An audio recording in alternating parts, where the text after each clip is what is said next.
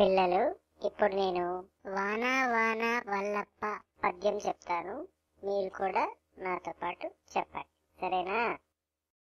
వానా వానా వల్లప్ప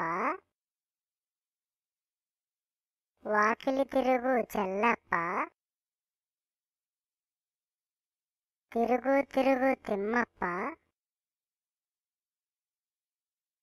తిరగాలేను నరసప్ప.